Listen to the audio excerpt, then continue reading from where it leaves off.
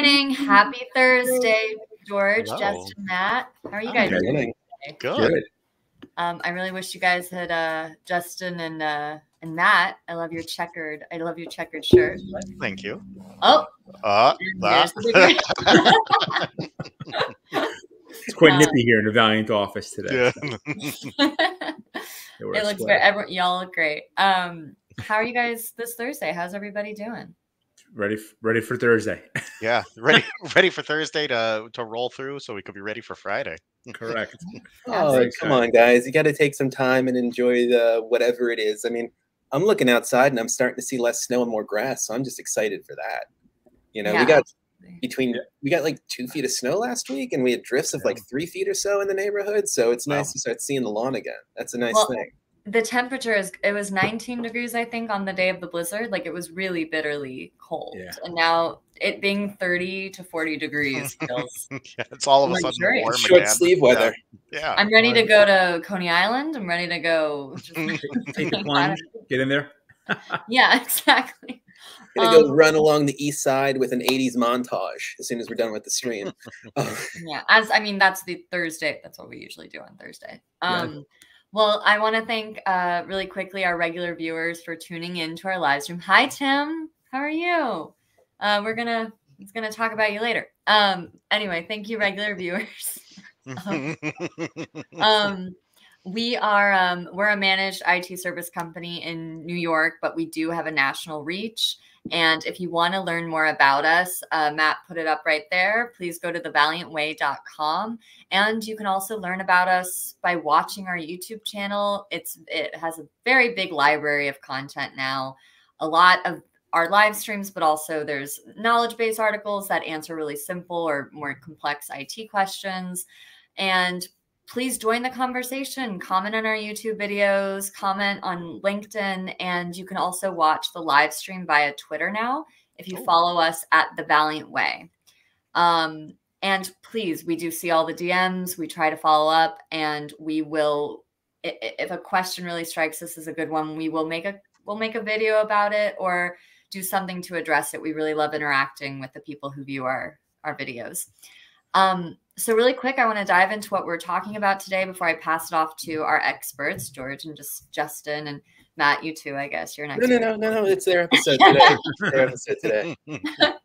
um, so uh, we spent the last few weeks focused on compliance, and Tim, who already commented today, um, he joined us to talk about the difference and the intersection between cybersecurity and compliance and IT compliance and last week we had a really fun kind of different video where we, uh, George and I did a crossword puzzle that Matt had put together. It was very high level uh, stuff. There were spaces in between some of the words. really threw me for a loop. Yeah. Um, it's the biggest thing since Wordle. Checking out um, but it was hey, really uh, New York Times. Give me a call. Yeah, exactly. Matt is available if you need I, him yeah, searches, scrambles, what uh, jumbles, mm-hmm. whatever they are, waffles, whatever you need. I got it. I'm your guy. Boggles. No, you're very good at it, man. It, it was it was really fun though, in all seriousness, and it was cool because we had viewers sort of guessing with us, which Matt, you probably foresaw, but I was like, oh, what a fun interactive piece because they would guess it before me, and I would, you know, feel properly shamed and need to go back to my acronym books. Um, and uh, today, we're moving on from the broader view of compliance, and we're going to talk about how to get your small to medium sized business um, on the road to compliance by building or creating a roadmap for yourself. Um, our team did an episode last year, this time last year, Matt, I think. Mm-hmm. About, yeah. yeah, about uh, building a roadmap to compliance for your business. And while the awareness on the topic has definitely increased, I know George and I see it a lot in our meetings with even prospects. A, a lot more attention is being paid to how to get compliant. Um, we want to focus on how to, I guess, get started. Right? Is that kind of the general? Yeah. How, how does someone get started? So, mm-hmm. with all that, Thank you guys for letting me talk, George and Justin. Yeah, actually, really quickly before we get started, because we missed, uh, we were just talking about the crossword, and last week we let people know that we were going to rework it to make it a little bit less uh, oh, yeah. less dastardly, and um, make it available to people. So here's the link. Um, it's a oh, link nice. to a zip file that'll Sorry, contain Matt, two PDFs. One has the crossword along with the uh, the clues, and the other file in there is the key in case you get stuck. So it's all in there. Cool. And uh, it actually came out looking much more like a crossword puzzle than the one we did, as far as like the the symmetry of the board and stuff goes. And it, it, it makes me want to make more. So if anyone has any ideas for those, uh, slide into our DMs or whatever the case Yeah, please yeah. do. It was really fun. It was very fun to do. I have to say. Good way to learn the terms and kind of bring it bring it to a little bit of life because as we all know, it is the most exciting topic you can talk about. Absolutely. so. the holidays haven't ended for me yet. I think today's the last day of them. Um, Might be the so excellent. So I think um, Megan, just to kind of start yeah. talking about this is, is, is um, you know, I think a lot of people have really great intentions. I think we have to uh, acknowledge that that people have great intentions. They want to have. I think most business leaders and most people want to have these um, you know, these policies be compliant with both regulations yeah. and standards. Um, but A, it's really intimidating. B, you don't know where to start. C, you know, sometimes you might turn to what may be like a trusted partner, but they may not know how to do it because they might not be doing it themselves. Um, there's, it's, it's, there's a lot of misinformation on it. And, and I think mm-hmm. that what happens a lot is that it gets simplified. Like just have a policy program or just have a just you know have a junior admin install exchange. You know it should be this like you know it should be this simple thing but it's actually a very complex business problem yeah. About understanding your, your your your processes your customers your employees and all the pieces and, and, and i think that what I think, happens uh, oh sorry go ahead. Yeah go ahead, uh, go ahead. yeah. I, I think that's where people get confused with it is that is that it's it it is all custom and to to your business in a sense it's not just like uh, okay here's the security best practice to like we're going to turn on multi-factor now you're compliant. It's well how does your business operate? What what workflows do you have? What things does your business do? Those are all important play, things to understand what can't be out. protected by multi-factor authentication? Because yeah. if you don't even think about that you're kind of putting your head in the stand in the sand thinking you're protected when you're not. These are, yeah. you have to have self-awareness within a business to make the right decisions. Yeah exactly. You know, I mean, JP, we, we've been doing this long enough. We remember the days of people saying, "Well, I have a firewall," and then it's, "Well, I have a firewall and antivirus." I, I, I don't really understand what the problem is. And then the question, really, it's the understanding of why would you need a firewall and or antivirus and how does that what does that protect and how does it do it and how does that impact your business and how does not having it or the things it's protecting if they happen how does that impact your business and what do you do about those things? Yeah it's true. And uh, actually tim has a really good point uh, t- uh, templates. Templates are just that they're templates. They don't represent yep. the reality on the ground much let's like also, yeah. Sorry go ahead. Go ahead matt. I was going to say let's also point out that tim expressed his comment as a template with the double brackets around the word. I know. I was, I was just gonna. I was gonna, let, I was gonna let that one lie. Nope. But I know you can't. so, but I, I, think kind of going back to the idea of the roadmap, right? You know, mm-hmm. one thing the that's really important, like in all, uh, if you're ever doing orienteering or anything about maps, uh, there's a really important term people tend to kick around. Uh, the map is not the territory. Uh, and what that mm-hmm. means is that while a map may be a representation, of it. Um, it's not the situation, not what's happening actually when you're walking on the ground mm-hmm. or when mm-hmm. you're there. You know, so you can have it. You know, you can start with a roadmap, but what you find may be utterly different than what you anticipate from what, what you might have quote unquote mapped out. Yeah, I just and, think about driving in Jersey as as that, like you know, oh yeah, this yeah, no, this is. I'm going two miles down the road. This should take me two hours because that's how it goes. And and yeah, that same thing. It's the conditions out there, and, and when you're you know, and when you're actually going through it, are are not always represented on just the map. You need both. You need to know what's on the ground. Right. Right. So I think I think it's really important. So I think I think this to kind of like give it some some bearings and plate using map map map terms. Um, MapQuest. MapQuest to get started. I think I think this is like a a really important piece. Is this is a um, a group effort. a team effort. There's not a solo person. There's not someone sitting in their office or at home or taking the train ride of writing out. All right, I wrote out our cybersecurity compliance policy or whatever it is, putting it on the shelf and forgetting about it. It's really important that it's a living, breathing um, map and and it, it, represents what's happening in the company. So it starts with collaboration and mm-hmm. a team effort. I think that's really important thing to say. I, I said it, t- it touches every facet of, of operations. Yeah. There's a lot of different stakeholders in various different places in the company. So yeah, I think um, it's it's very important that yeah there are lots of people involved in it, but that also that somebody from the top is uh, in some ways driving yeah. uh, is is saying like these are things that we need to get done because uh, somebody with that authority uh, needs to be driving it because there are so many pieces that get involved. Right. Exactly. So I think, and I think you know, it starts with that team effort. It starts getting like you know, and also like I think what happens too is people want to go and have it done. Just just get it over and done with. Yeah. Um, Megan and I speak to a lot of prospects mm-hmm. that to say, hey, can you just get this done for us? Mm-hmm. And the people who have any kind of understanding of what's hap- what has to happen are like, oh, this is really painful, and we I don't want to do it. So can you do it for us? Yeah. And that that one's as, as a customer thing, but at the same token, it, it, it, they have a recognition of what the complexity is. People who have no idea of it would be like, "Well, can you just get us to check the box, or can you just get us through this?" Yeah. And you know, not only is it not only is it defeat, not only is it mm. like not really possible, but it defeats the, the, the, spirit of what we're trying to accomplish. It also sets the, them up for right. future failure in the area.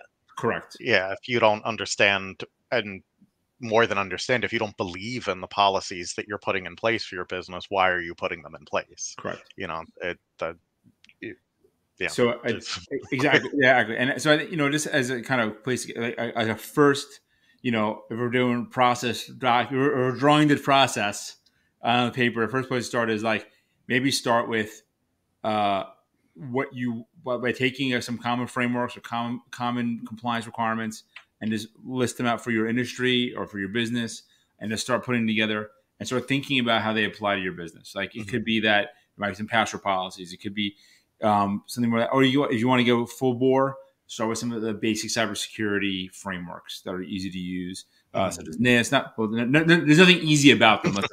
I mean, Easy, uh, easier than from scratch, but yes, you don't want to start from scratch because obviously from scratch is uh is it, while while it may sound appealing, uh, to develop your own framework, it mm-hmm. probably doesn't make a lot of sense uh, because people, there's a lot of smart people who put a lot of effort into building some really great um, uh, ideas and concepts into something that you could use to follow and guide yourself by. Mm-hmm. So you know, uh, pick pick one and stick with it. It's kind of like a diet and exercise program.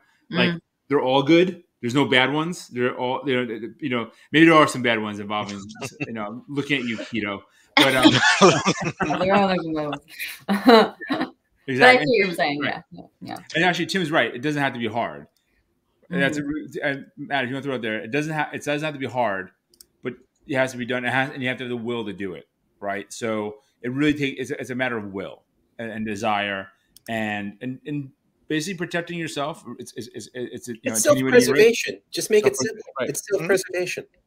And so, it's, it's, your business is not going to prosper if you start running into dead ends due to situations like this. Mm-hmm. Right. So I, I really, I, what, what, you know, what I encourage everyone is, you know, if you if you feel if you want if you're feeling a bit DIY, download some of those NIST standards. Look at some of the real basics. There's CIS. That's a really great, easy standard to start with. Mm-hmm. Um, there's also there's NIST. I mean, if you want to feel a little crazy, you can get that ISO 27001 or some of the more mm-hmm. complex ones. I probably recommend. I probably wouldn't recommend those. Um, was there really complicated? You know, was it really complicated? But just start somewhere. Mm-hmm. That's really the most important thing. It's like it's like it's once again, um, it's putting together the basic starting point to acknowledge, hey, we have a risk. We want to assess some of our risk, find our top places of it, and begin. And I think um, you know by beginning, what will happen is you'll you can build a baseline of where you are today before you start implementing change that's another really important thing is uh, myself included and I know JP Mm-hmm. Uh, you and I both suffer from the same problem as we want to fix everything. Yeah, it's like we see the we see the the shining city on the hill, and we uh, just are like, yeah. yeah. that's it, and don't real don't see the road and the hill to yeah, get there. It, oh. there's, a, there's, a, bit of the South Park of like collect underpants. Yeah. Yeah. And there's a piece missing how to get there. So I really yeah. think that's our uh, that's that's that's a really important thing. Is like it was a, there's a lot of great ideas and great intentions, but it'd be better it'd be better for you to be honest with yourself and say this is going to take me a year, and I'm going to dedicate mm-hmm. Of time. Um, you know, uh, where where to where to start. So yeah, so I think even if the the uh, like even if you're looking at the NIST stuff and looking at that, like some of those are things that are complicated to start. I think uh, uh, you can also narrow down from there and look at specific pieces as a place to start, like just data privacy or just uh, uh, those pieces as opposed to the entire system right. Uh, or the entire compliancy stack. Because again, you know, something thinking about something is better than nothing and it's getting you started and starting you with with at least some pieces that'll have a lot of uh, impact for you right. I think i think uh, we, we like so one thing we put together um, was uh, a, a, really basic data privacy compliance checklist that was downloadable. We have our site. Matt you want to throw that up there? Is this to kind of we go through it? Might be useful let's get that link. Talk for a few while. We have the link up on screen so people can grab it if they want. Yeah. Perfect. so you know and and I think there's there's a you know using that if you start with that basic checklist, um, it, even if it, even if you're not able to follow exactly all of it, and once again, it's a place to start your start your start your journey through it, start your work through it, and you know it's like, I, you know, once again, this using this and it is using some basic best practices is, you know, figure out what data you have. Yeah, I think that's one of the most important things that I find yeah. when I work with customers is they don't really know well, you think they know, but they don't. Yeah, know. that's honestly the single biggest thing is that if you do nothing else, that knowing what data you have, where it's located, how it's organized, every other everything else builds off of that because that data that you have is what you're protecting and is what you're putting policies on. And if you mm-hmm. don't know, then you don't know. How do you know? How can you how do you protect something you don't know what it is? How do you you know is, exactly. was anything stolen? I don't know. I don't know what was there. So how do you you know you have to know what's there, and it, right. it it's either it's one of those things that a business is either they have it dialed in and they know everything because it's all organized, or they don't, and it's, there's almost I mean, never in between. I feel like George and I, so many conversations have started with some someone some um, point of contact and like, I just don't know what we have. I just need to know what we have. Yeah. And it's like, it's kind of one of the biggest first pain points I feel like we run into a lot um, when we have right. these calls. Pe- yeah, absolutely. Pe- people have no idea. I mean, and yeah. I think that's really like, it's really a very, it's, it, it's so, it, and it seems simple on the surface. Like I have data, it goes into the cloud. My data's in the cloud. Yeah. Okay but you know, what, even folder in the cloud? Oh no, or, or, or, even deeper than that. I mean, yeah. like why? You know, I mean, you know that people always truck out these uh, these like kind of a complex examples of like, you know, I, I we were storing social security numbers in the cloud and in, in a file folder or an Excel, and it gets stolen and all this other stuff. But like, that's like a that's like an extreme example. This is a lot of stuff you just don't want to be on the internet or public. Yeah that should be protected. At least the one that you know that is there and what's that's kind of classified and understand what what uh, what classified. I mean tagged, so you know, hey, this is important, not important. You know, critical, not critical, that sort of thing. And yeah. this, and with not even out sorry. on the internet. Yeah. I mean, even internal to your organization. I mean, I know uh, George and I uh, chat about Matt all the time, and we don't want him seeing that. oh my god! oh, Matt, oh, I'm sorry, Matt. No. All right, Matt, please. oh,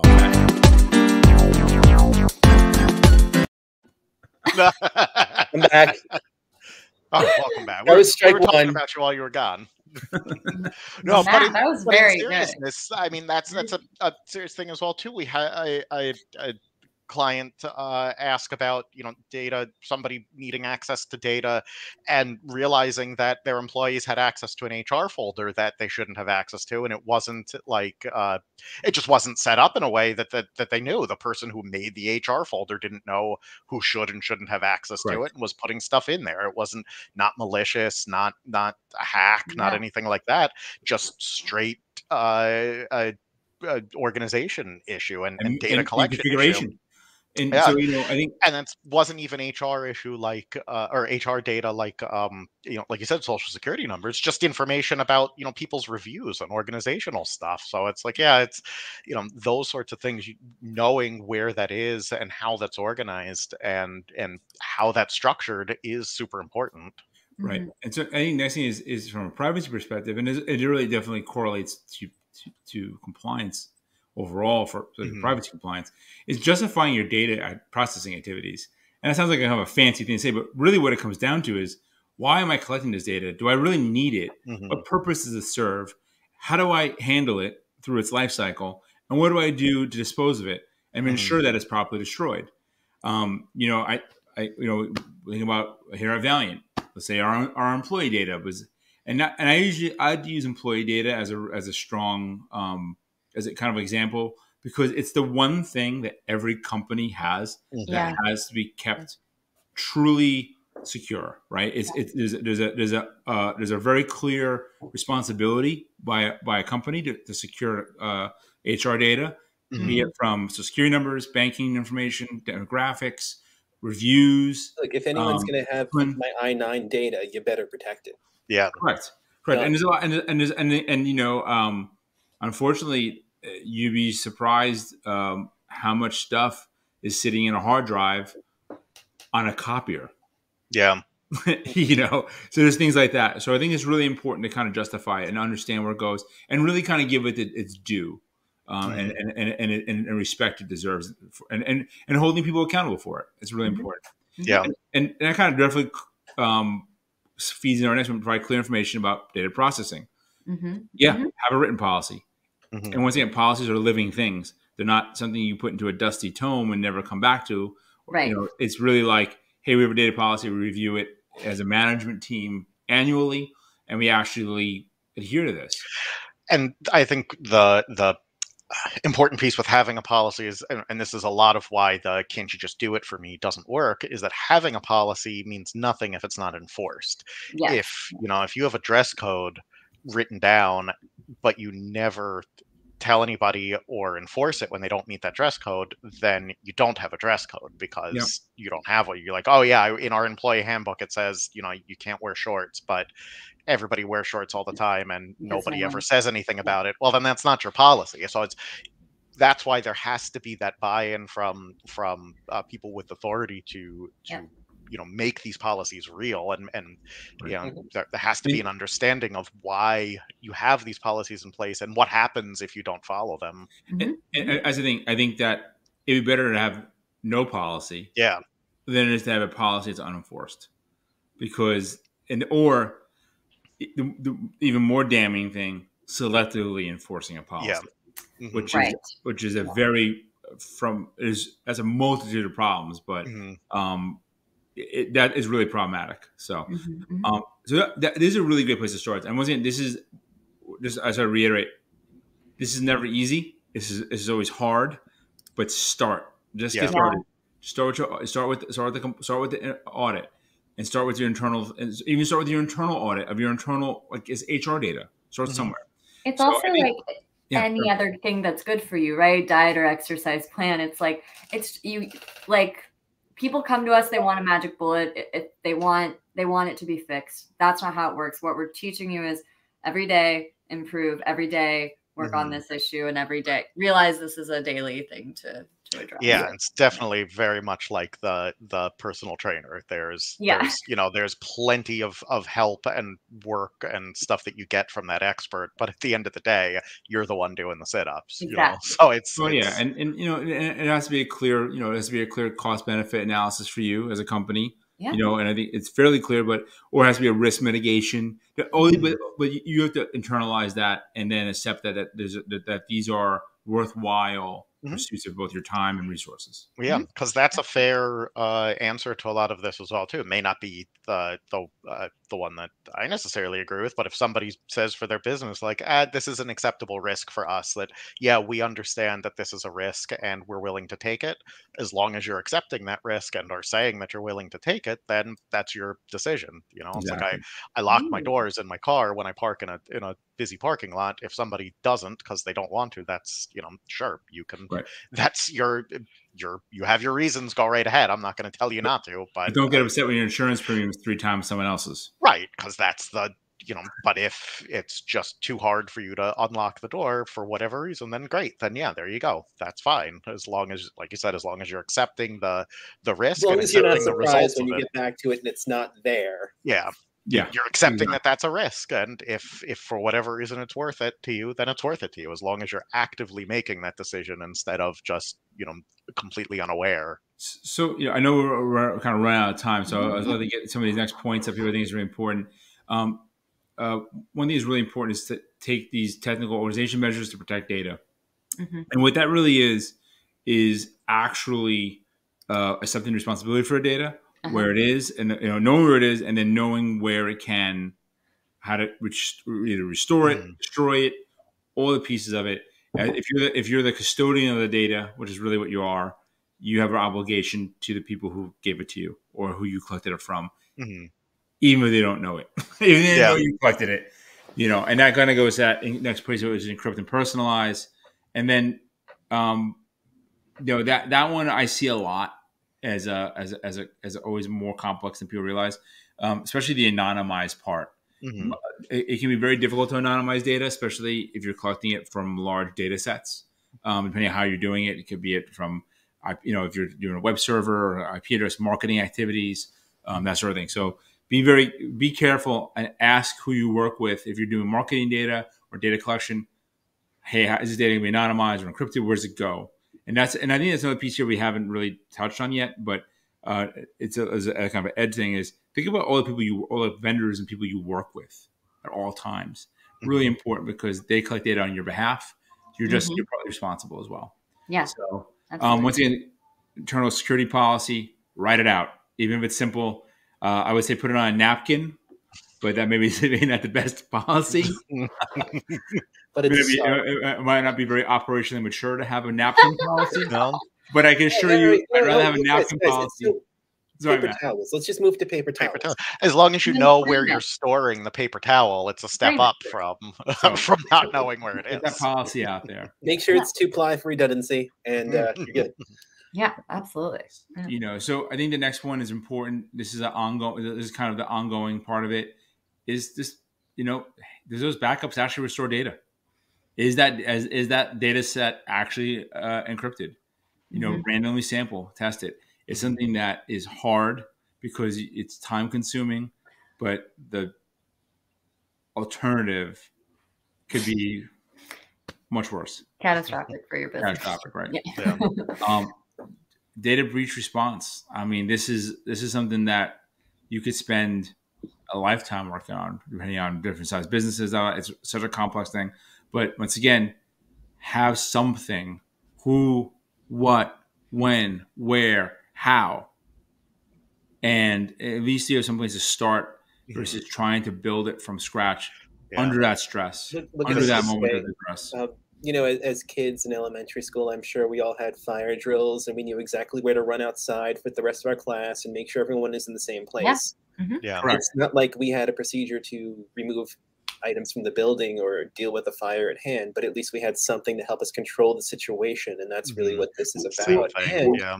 if you notice, there is an orange line in the PDF we're looking at that links to a guide to help build procedures to be taken in the wake of a data breach. Mm-hmm. So right. we also do have some basic information to help anyone that's looking to get started in that area right. as well. And I think I think a fire drill is a great example because mm-hmm. the fire drill is not you know you, it's not trying to do more than focus on what's critically important, right? In a fire, right.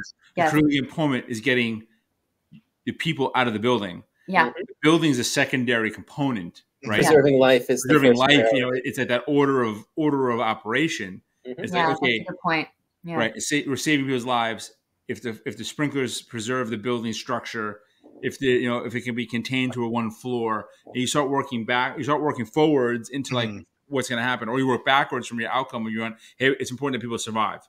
Next piece is that the structure survives. Next mm. piece is this, and then you can start assigning some value to it, and some you know, and, and I think that's really that's a great way to start thinking of it. Yeah, and so, if all you get is the okay, everybody, when the uh, fire alarm goes off, you're going to leave the building and go here. It's still that is so much better than fire alarm is going off and everybody says, "Well, what do we do now?"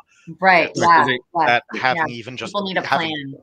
Yeah, anything yeah. is better than nothing. Yeah, I mean, um, not to make a needless pop culture reference, but wasn't that like a scene from Kindergarten Cop where they had one drill and all the kids were going nuts, and then yeah. Arnold Schwarzenegger kind of put a process in place, and then the next time they were like the exemplary class that lined yep. up, got yeah. out, grabbed the class pet, walked outside, while the rest of the school is kind of like doing their kind of like freak out, and I think that's a great example of why you do want to have these response procedures. Mm-hmm. Yeah, yep. Kindergarten Cop. Yeah. Go back and go, go back to like one of our favorite things to do is that tabletop just yeah. start talking. Just talk through what you're going to do. All right, I'm going to call this person. I'm going to do this thing, and we're, you know, and write it down and start working the way backwards. All right, let's move fast. So we have a lot. We've almost overtime already. It's already 11 o'clock. So designate someone a compliance representative. Someone has to own it. COO, CFO, CTO, uh, uh, operations manager, someone, someone with some authority mm-hmm. that owns it. That can, can be the person that's like, hey, we got to be more responsible with that data or they, and they can enforce the company's policies and standards. Really yeah.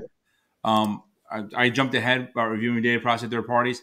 Your third parties are, are one of our, you know, third party vulnerabilities are one of the largest weaknesses in any organization. Yeah. We rely on third parties. People rely on their insert, you know, uh, PEO or HR company, payroll company. HVAC. You know, those companies store your data for you.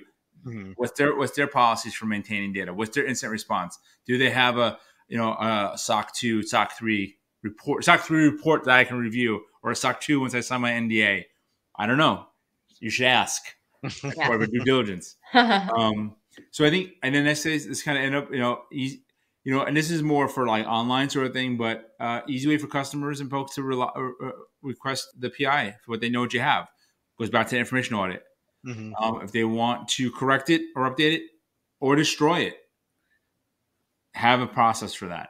You know, person leaves, go back to the company. If someone leaves the company, what happens to their file folder? What happens to their reviews? Where does it go? If they want it destroyed, now you may be obligated to keep it for seven years because that's what generally, you know, depending on the laws of your state or your company policies. But at least it's clearly defined, and then you mm-hmm. can go through it that way. So this is a lot of information, guys. I'm sorry I threw it at you, Matt. Thank you for throwing this up here. I think this this this, this document is super useful even if it just starts a conversation. In also, it was just fun to show that it's a checklist that actually has. that made me go ooh, like I, that was very pleasing. It's very cool as a PDF checklist. Yeah, it makes it a little more fun to do all this work. exactly. So. Um, guys, thank you so much for being on our stream today. And yeah, Matt, that checklist is incredible. George, thank you for walking us through it. And yeah. Justin, your perspective is always so valued on this stuff you. because you are very brilliant, and we like to hear what you have to say oh, about this stuff as well. Always happy to be here. Yeah, thank you, Matt. Um, it's so nice to have you back. It's like, yeah, and, and, I and I can't and I can't wait to start abusing my children with that crossword puzzle um, over dinner tonight. I know I know what the dinner conversation is going to be like. Put your word, no more wordle. We're doing. Yeah, we're doing. We're doing this. Yeah, now, now learn something. Okay, how about that? Um, so hey, next week Oh, we're yeah, going to be week. switching gears a little bit and yep. jumping back into some content around collaboration. Yep. Oh, yeah. Uh, and we're not going to do the typical, hey, this is O365, the cloud unicorns kind of thing. We're going to talk about where collaboration came from, mm-hmm. uh, spanning all the way back to, gosh, I did some research on this last year and it was interesting. I got to dig out my notes. I think the late 1950s mm-hmm. right. is where collaboration became uh, an actual term that was used in the workplace, like coined as, as a part of a, as, a, as an attribute of the workplace. And it'll be interesting to you know put a little bit of a timeline together from then until uh, up to today yeah. as, as, you know with regards to how we collaborate what we uh, what we work with common tools the kind of benefits that we see some of the pitfalls because there are pitfalls mm-hmm. and i think that we're probably going to do another episode related to collaboration around what happens as a side effect of over collaboration oh yeah you know that was that was a great idea that you had this morning george i, I mm-hmm. we're definitely going to roll with that because i think that we've all had um, experiences of over collaboration. I've I know collaboration that, fatigue. That they're friends at other companies. I'm sure customers of ours have, ha- have had um, experiences as well over the past two years with work with work from home and adopting yeah. new tools and mm-hmm. maybe sometimes getting a little shiny object syndrome around the tools and then realizing that uh, yeah. that collaboration was actually just more uh, of a fancy way to burn through some budget than to bring some results to a company. Or, or you know, or, or, or you know, wanting productivity, or you trying to is trying to trying to confuse um, collaboration with output and, mm-hmm. and, collabor- and productivity. Yeah, yeah. And there's a, there's a lot to it. It's a it's a pretty meaty topic, one that like um, just I, have been thinking quite about a lot this recently. It's a topic for someone to dive in well past the surface at yeah. this point. And I think that uh, if anyone's going to do it, these guys right here, right here, um, the A team. So please, everyone, please tune in to that next week. I'm super excited and fascinated by that topic. And um, guys, if you enjoyed today's stream, please hit the thumbs up button. Don't forget to do that. Like and subscribe uh, subscribe to our YouTube channel, and again, keep up with our our live stream and other content produced by our team. We have a lot, and um, please visit us at thevaliantway.com, and we'll be here next week. And we're excited excited to dive in those topics. George, Justin, Matt, thank you again. Thank you. Um, always a pleasure to start a Thursday this way. awesome. Stay safe, everyone. Thank you so Have much. Good one, folks. Bye. Bye now.